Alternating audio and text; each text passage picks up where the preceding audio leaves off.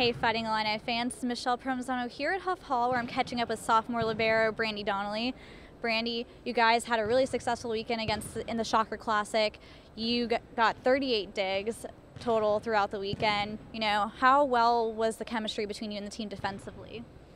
We always try to focus on defense, and I think this weekend we did a really good job of trying to make digs better and putting them more on the net so we can get um, better plays out of dig opportunities. And that's something we talked about last week, and I think we made a good adjustment on this weekend.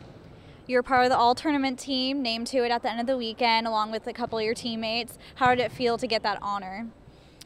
It felt good. Um, I just tried to like take care of the opportunities that came my way. I didn't have like a whole lot of balls hit at me this weekend because we had a really good blocking weekend and um, took care of a lot of teams um, offensively. So.